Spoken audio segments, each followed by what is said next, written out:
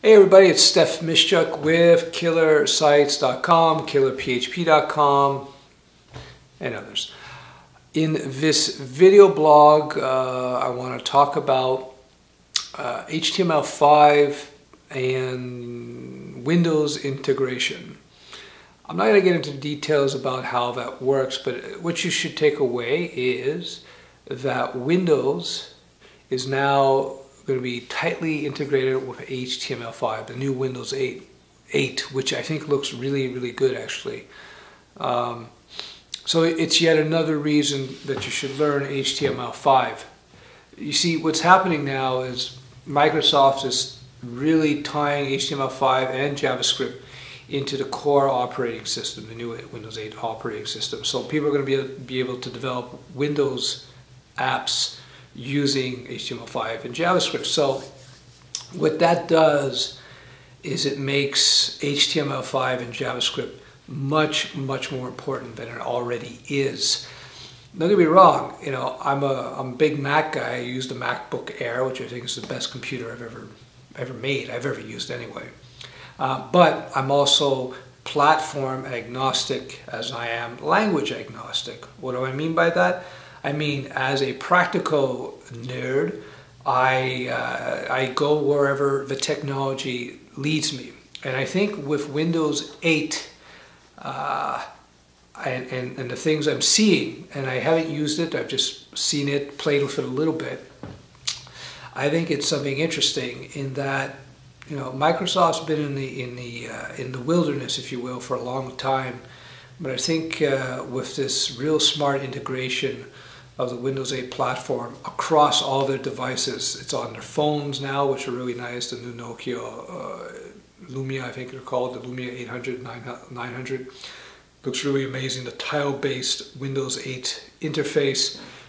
You see it on the Xbox, and now you're going to see it in Windows 8, and it looks really, really interesting. It's a whole new way of uh, of sort of viewing an operating system with the whole live tiles thing. If you haven't seen it, you should go take a look at it, some demos, Windows 8 demos online. It's pretty cool because it's a type of operating system that works well for both both the mouse, the mouse and the keyboard, as well as for the touch screens. Um, so back to HTML5 and, and uh, JavaScript, uh, because Windows still by far and away dominates uh, the market in terms of operating systems. Uh, you know, they still own 80% of the desktop. You're looking at uh, at you know HTML5 developers and JavaScript coders to become much more valuable because now they can write apps for Windows directly, not just for rich apps in the web browser. As if you guys follow me, you also know that I believe that uh, Flash is, uh, is on its way out because of HTML5 and the rise of JavaScript and jQuery. Well, jQuery is just a JavaScript library that allows you to do all these neat things that you would traditionally do with uh, Flash. And there's several advantages of working with HTML5 and JavaScript versus Flash, for instance. So the whole uh, the whole Windows 8 uh, integrating uh, everything doing HTML5 and JavaScript, it's, it's a real big game changer in my opinion.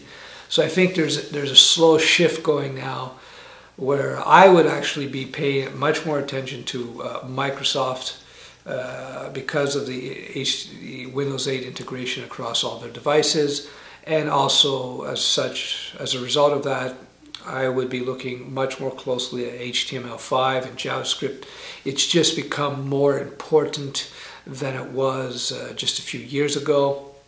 Hugely more important, especially since you know that Apple has fully embraced the HTML5 uh, paradigm. I don't know if it's uh, in, integrated into their operating systems on the core, but nonetheless, uh, it's something to really look at. So that's it. Um, yeah, I'm wearing a hat because it's kind of cool still up here in Montreal and I'm having a bad hair day. And uh, as you can see, uh, if you watch my videos, the office is a little disheveled here because I'm actually uh, moving uh, from this old gray stone building and uh, you know, so I'm just starting to pack up and get things going. So there you go. That's it. Another reason to learn HTML5 and JavaScript and start paying attention to Windows 8.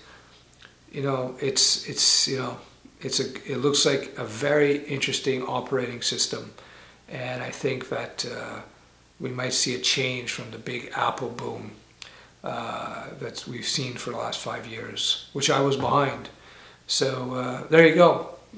We'll talk in a video blog very soon.